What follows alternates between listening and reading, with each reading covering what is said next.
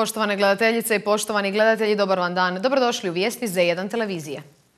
Propao je još jedan pokušaj rušenja predsjednika SDP-a Davora Bernardića na glavnom odboru te stranke, a koliko je situacija tragikomična govori da su ispred SDP-a prosvjedovali članovi foruma mladih SDP-a.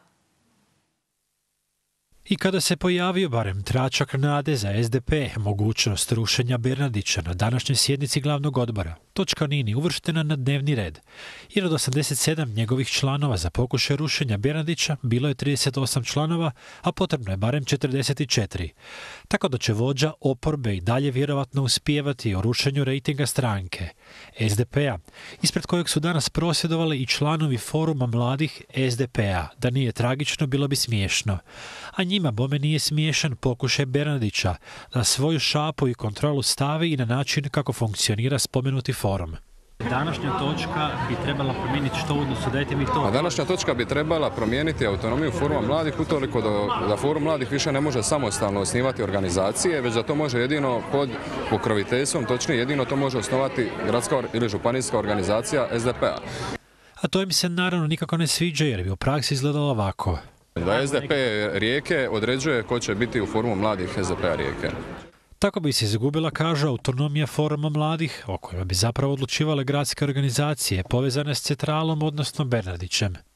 To baš nema nekog pretjeranog smisla, ima direktan upliv u to da se onda stranka direktno miješa u to ko će biti novo vodstvo pojedine organizacije Forum mladih, čime se ubija ostvareno pravo i time se može ukupnom gledanju ono sabotirati na neki način autonomija organizacije koja sama bira sve vodstvo koje izražava svoj kreativni i mladenački bunt. A o buntu u SDP-u više suvišno govoriti. Pad rejtiga stranke, suspendirani članovi, bratoubilački rat i rasturanje SDP-a je ono u čemu uspijeva Bernadić. I to od najviših tijela, da evo sad i foruma mladih, koji su ogorčeni njegovim likom i dijelom. Nas zanima funkcionalnost stranke, nas zanima konkretan rad stranke, nas zanima socijaldemokracija, nas zanima budućnost, nas zanimaju mladi. A sada je li na čelu stranke Pero ili Bero, mislim da je to manje bitno. No kad je ovaj Bero u pitanju je bitno, jer statistike, ankete, dojam i rating stranke su sramotni, pa su se dosad već poznatim glasnim berenim kritičarima iz redova SDP-a u javnim nastupima pridružili i mladi iz foruma te stranke. Tako da berena potpora unutar SDP-a je svakim danom sve manja i manja. No mogu apsolutno svi članovi SDP-a iz cijele Hrvatske biti protiv njega, jer on svoje podanike u glavnom odboru ima – a to je jedino mjesto gdje ga se može srušiti. Što je to ni danas nije prošlo, pa nije ni čudo da je dan započeo sunčano, a završava oblačno. Stotinjak ljudi okupilo se na još jednom šestom po redu prosvjedu za raskid vatikanskih ugovora koje smatraju protuustavnima jer negiraju odredbu Ustava kojom su vjerske zajednice odvojene od države. Raskid šest. Za još jedan šesti prosvjedni pokušaj raskida Vatikanskih ugovora. A stranka glas je prije šest mjeseci u saborsku proceduru poslala preispitivanje istih. Kao što znate, to je put i proces koji će trajati dugo, jer se već i vlada izjasnila protiv te inicijative i u vrijeme kad je nedavno državni tajnik za odnose s inozemstvom Svete stolice boravio u Zagrebu, premijer Plenković se silno trudio udobrovoljiti ga i dati mu sve moguće garancije da Hrvatska neće pristupiti reviziji ili ukidanju tih ugovora, jer se i dalje od vladajućih, sad već punih 30 godina u ovoj zemlji, uzgaja jedan podanički mentalitet. Podanički mentalitet prije svega kleru, Ugovori koji tvrde prosvjednici uzimaju na stotine milijuna kuna pa se pitaju zašto ulagati u crkvu, a ne znanost. Žele dakle manje i transparentnije financiranje crkvenih institucija, novcem svijunah poreznih obveznika. Ne žele obrazovanje kao religijsku indoktrinaciju, a ne žele ni zaštitu svećeničke pedofilije. A osim političara koji naginju ovakvim stavovima, danas su prosvjed podržale neke druge osobe iz javnog života. U Hrvatskoj e, država, e, odnosno crkva nije odvojena od države, vidimo to u svakodnevici, posebno mi koji smo roditelji, koji smo upisivali neka davno djecu u prvi razred osnovne škole i kad nam se za izbornu nastavu nudio izbor vjeronauk ili ništa. Moje dijete nije išlo na vjeronauk. Što kažete da nijedna vlada pa nije nikako, svi bježe nekako od toga? Očito to škakljivo. Crkva ima veliku moć, ali zašto ima veliku moć? Ne zato što je 86% ljudi koji se izjašnjavaju katolicima iskreni vjer, i stvarni praktični vjernici, nego mi jednostavno volimo taj kmetski mentalitet, pa smo partijske, pionirske, omladinske knjižice odmah 90. zamijenili Bibliju. Ima nade na način da ne znam da li znate da je nedavno Sud pravde u Luksemburgu, dakle najveći evropski sud, Španjolskoj dao za pravo da može početi sa raskidom Vatikanskih ugovora, budući da se crkva tretira kao nevladina udruga, a crkva radi i djelatnosti mimo dakle vjeronauka, dakle ponaša se i kao poduzeće ili kao ne kao poslodavac. Pa vjerujem da je potrebno održavati određen pritisak, pogotovo ako ljudi imaju konkretne argumente i ako su uvjereni u ono što rade. Evo ja sam im došao pružiti podršku jer smo napravili određenu analizu koju je vjerujem moguće argumentirano napraviti e, nakon 20 godina primjene bilo kojeg ugovora. Nažalost, ovi su ugovori napravljeni na način koji da reguliraju samo obaveze države, no nažalost ne, ne reguliraju uopće obaveze e, crkve, stoga su oni štetni za ovo društvo i vjerujem da je potrebno napraviti reviziju istih. O aktualnim događajima razgovarat ćemo s gospodinom Nevenom Pavelićem, urednikom portala Hrvatska danas. Dobar dan i dobrodošli. Dobar dan, hvala na pozivu. Evo, krenimo od ovog posljednjeg, Vatikanski ugovori. A dakle, skupilo sam vrlo malo ljudi. Ovdje je riječ o jednoj, u principu, marginalnoj političkoj skupini koja podupire reviziju Vatikanskih ugovora. I nije se dogodilo ništa i vjerojatno se neće dogoditi ništa. Dakle, nisu ti Vatikanski ugovori tako jednostavni. E, može ih se vrlo kratko objasniti. Riječ je o četiri ugovora kojim je Hrvatska država prije nekih 20 godina regulirala e, svoje odnose sa Vatikanom. Hrvatska država plaća ne samo dvijema crkvama, nego i još je 14 vjerskih zajednica u Hrvatskoj na platnom popisu koji financira vlada i ne odnosi se to samo na to da bi crkva radila nešto, nego tu ima i puno, puno dubljih odnosa. Evo ja vam mogu reći iz, iz ovog našeg ovoga faha, dakle što nam je blisko, koliko vi možete, ne znam, recimo platiti fotografiju Zagreba na kojoj je katedrala. Dakle, katedrala je crkveno vlasništvo, nju treba održavati. Ista stvar vam je, ne znam, i sa Đakovom, na primjer, i tako. Dakle, tu imate, tu imate jednu turističku funkciju, um, imate i kulturnu funkciju. Dakle, nije, nije, riječ samo o tome da se plaćaju ono što ljudi misle e, mise u, u crkvi. jedan od ta četiri ugovora je ugovor o dušebrižništvu u vojsci i policiji, dakle i tamo isto postoji e, postoji vojni ordinarijat koji je upravo i s tom namjerom osnovan i tako. uopće nije jednostavna stvar. E, što se troškova tiče i oni su isto oni su vrlo, vrlo ovoga, svi su već objavljeni, nema tu nikakvih tajni, to je nekih 300 i nešto miliona kuna godišnje za oba dvije crkve i 14 vjerskih zajednica koje su otprilike redistribuirane tristotinjak i nešto miliona katoličkoj koja ima i naravno najbrojnije ovoga sljedbeništvo i ostalih dvadesetak miliona je podijeljeno pravoslavnoj crkvi najviše i ovih 14 vjerskih zajednica. Dakle, kažem, nije, nije to uopće tako jednostavno, postoje skupine u hrvatskom društvu, normalno je svako ima pravo na prosvjed, ali mislim da je to eto, čisto ovako folklora radi e, i da se vrlo vjerojatno to neće mijenjati, barem ne u dogledno vrijeme. Pravo na prosvjed imali su i evo, čuli smo malo prije članovi foruma mladih SDP-a, propao još jedan pokušaj rušenja Bernardića i oni su mu se suprotstavili. Je li u ovom trenutku problem Davor Bernardić ili problem leži u samoj stranci kao što je evo rekao jedan Nije ni jedna stranka homogena, samo što mi sad to vidimo puno bolje u SDP-u. U SDP-u se jednostavno taj prljavi veš baca već neko duže vrijeme ovoga, pred javnost i mi smo svi svjedoci njihovih unutarstranačkih obračuna, međutim pa, isti je problem imao i Zoran Milanović. Sjetimo se da je on jedva otpilio glavu, da tako slikovito kažemo, Liniću i da je to bilo vrlo, vrlo, vrlo blizu On je isto tada mogao propast u stranci, ali ipak nije. Dakle, imao je dovoljan broj ljudi na glavnom odboru, kao i što sad očito ima Bernardić, znači ima potporu unutar stranke i to je što se stranačkog života tiče najbitnije. Dakle, ovo što mi svi gledamo i što pratimo i naravno da pratimo jer nas zanima, jer zanima i javnost, je u principu stvar koja se događala i prije u SDP-u, nije to prvi put, koja se događala i više puta u HDZ-u, nije ni tamo bilo uvijek med i mlijeko, ne teče ni sad. I tamo isto postoje borbe, samo što je HDZ malo drugačija stranka i to se baš tako ne baca ovoga, pred noge javnosti, nego se uglavnom rješava negdje u nekakvoj pozadini i tako, dok ne dođe kritična masa i onda će biti kod njih obračuna. Ne možemo se ne dotaknuti zapravo i pravosuđa. Evo posljednje zapravo možemo spomenuti i gospodina Stanadira ove dvije presude, međutim ono što je došlo kao velika vijest je povratak e, Ivice Todorića u Hrvatsku. Pa dobro, sad koliko je to velika vijest, mislim to je bilo očekivano da će se dogoditi jednog dana i sad naravno da svi mi očekujemo da on izvadi tu svoju famoznu crnu bilježnicu pa da počne iz nje prepisivati po svom blogu dok još može. On. Znači u ovih sljedećih 10 do 15 ili 20 dana koliko bude trebalo da se njega izruči Hrvatskoj i u principu možemo očekivati, kao što je najavio, da će malo žešće se početi obračunavati sa ekipom s kojom se obračunavaju i do sad. U ovih zadnjih dani nešto, nije tu bilo ništa novoga, objavio je nekoliko postova koji u principu ne znače puno. Dakle, vidjet ćemo u kojem smjeru će on krenuti.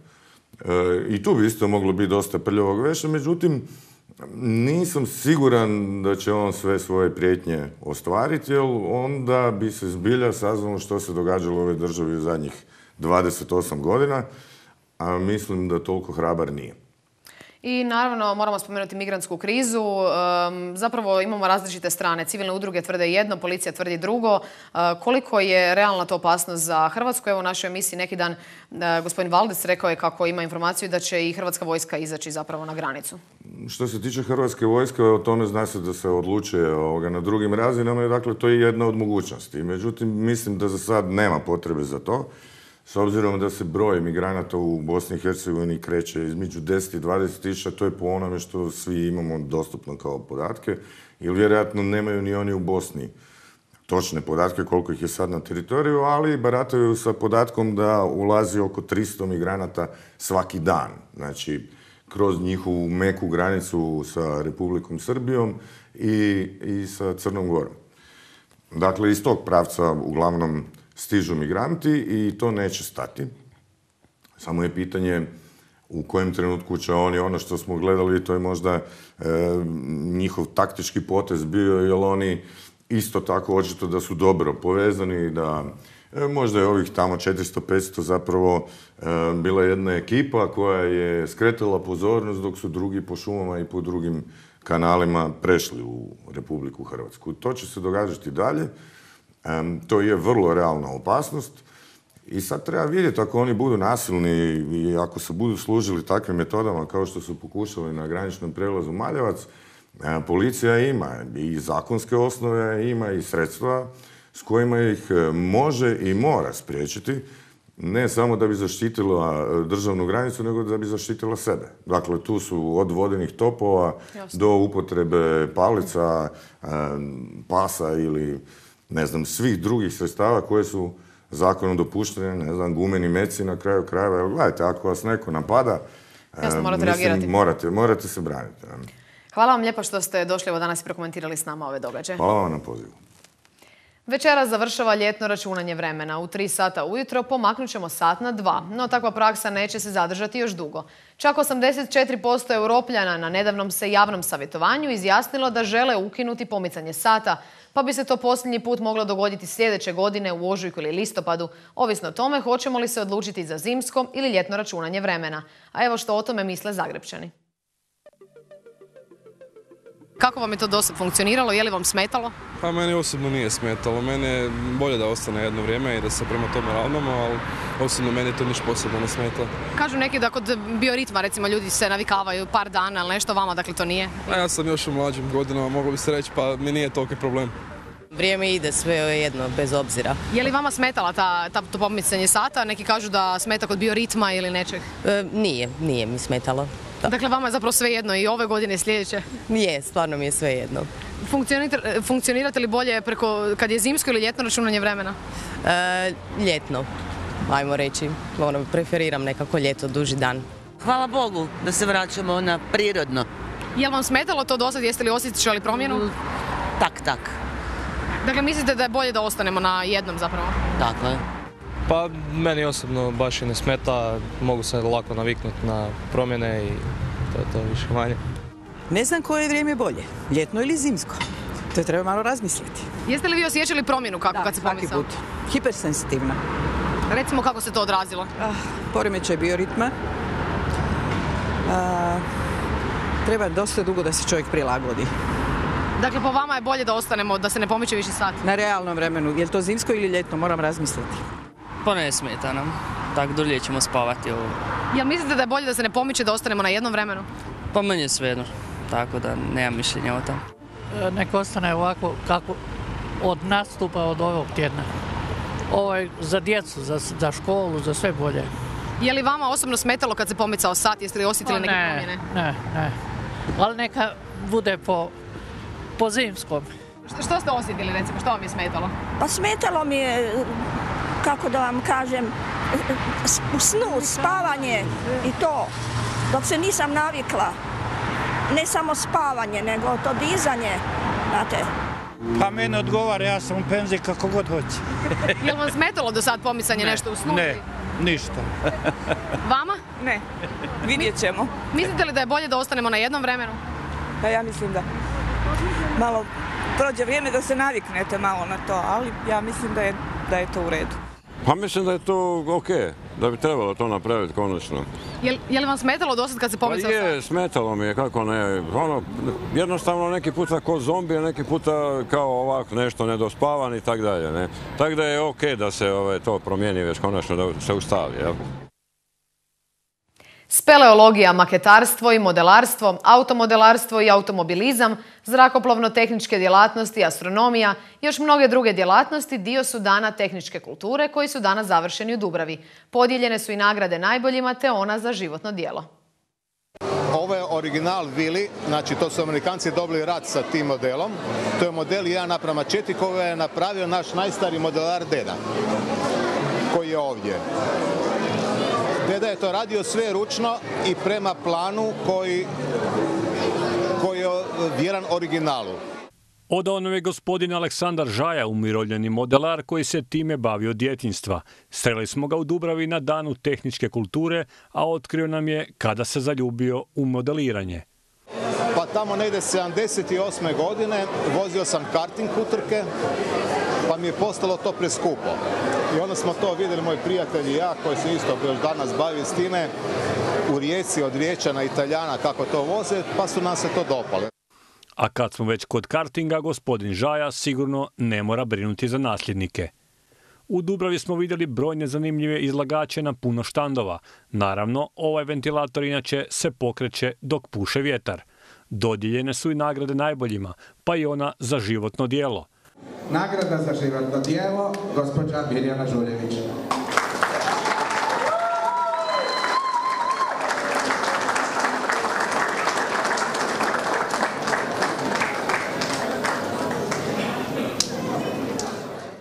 Ove godine dani tehničke kulture bili su međunarodnog karaktera jer su iz dalekog Japana stigli gosti i s našim ljudima podijelili svoje znanje. Da se ne bojimo za budućnost niti tehničke kulture, modeliranja, robotike, svih drugih aktivnosti koje se mogu na kraju krajeva podvesti pod zajednički nazivnik tehničke kulture. Ne samo zato što grad Zagreb to doista financira i namjerava financirati i dalje, već zbog sve ove mladosti, ovih mladih ljudi ovdje koji su došli pokazati što su u proteklih godinu dana radili. Na mladima naravno svijet ostaje. Nekad je i pročelnik gradskog ureda Ivica Lovrić bio dijete. Negdje kao u šestom razredu jedan od mojih radova je tada pobjedio na na natjecanju, sjećam se toga jako dobro, tako da sam, govorim o tehničkoj kulturi, tako da nekako ta vezanost uz tehniku i tehničku kulturu je, mogu reći, cjeloživotna. Danas, nažalost, e, je sve tako didaktizirano da se danas više ne reže pilicom, nego se vadi zapravo iz gotovih modela i samo se lijepi. E, mislim da je to pogrešno. Mislim da trebamo tu vrstu e, e, rada rukama vratiti u školu i da djeca doista ne osjete zazor ni od kakvog niti materijala, niti alata. Srećom, vidjeli smo danas mnogo mladih u Dubravi. Za nasljednike u modelarstvu ne treba brinuti.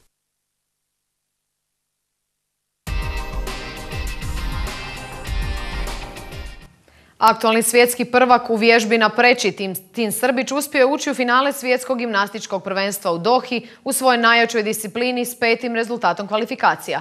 Nažalost, bit će jedini Hrvat u velikom finalu. Tin Srbić dobio je ocjenu od 14.300 i kao peti ušao u veliko finale svjetskog prvenstva u Dohi. Ispred njega bili su redom gimnastički kralj Kohei Učimura, Samuel Mikulak, Ruateng Chao i Epke Zonderland. Priznao je Hrvat Srbić da nije krenuo u vježbu onako kako je planirao, ali ju je uspio završiti kako je želio. Prije mjesec dana Srbić nije mogao ni pomisliti da će biti u finalu, no opet je pokazao da je kada treba jako, jak u glavi. Najavio je Hrvat da će u finalu ići na jaču vježbu koju baš i nije utrenirao do kraja, ali da će sve od sebe da dođe u borbu za medalju.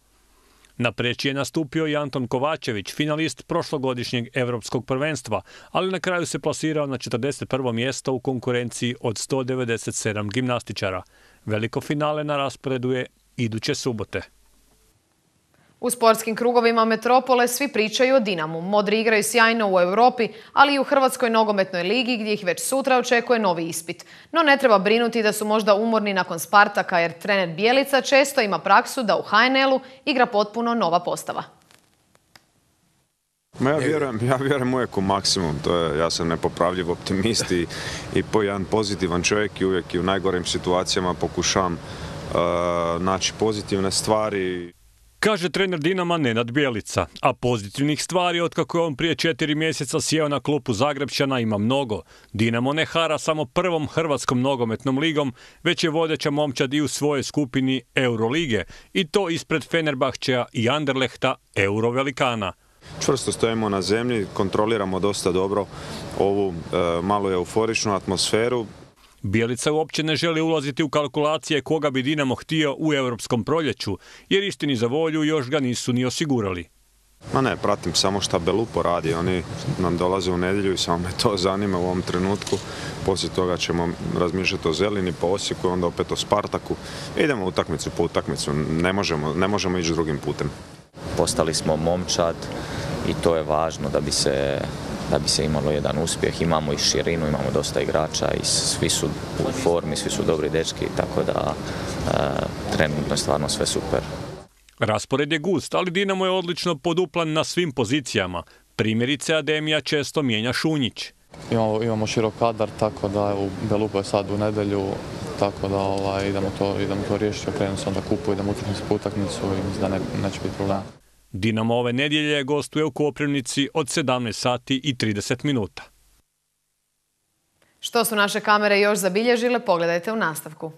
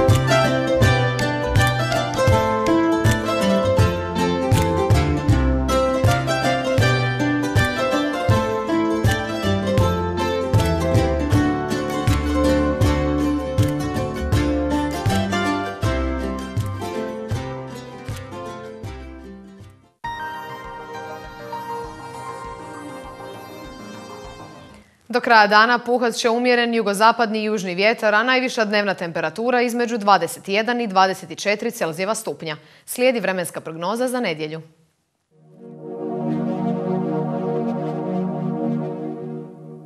Pretežno oblačno vrijeme, mjestimično s kišom i pljuskovima, osobito poslijepodne. Vjetar slab do umjeren južni smjerova. Jutarnja temperatura od 13 do 16, a najviša dnevna između 19 i 22 Celzijeva stupnja. I bilo bi to sve u današnjim vijestima. Uz program Z1 televizije ostanite i dalje, a naša vas ekipa srdačno pozdravlja i želi ugodan ostatak vikenda. Hvala vam na pozornosti i doviđenja.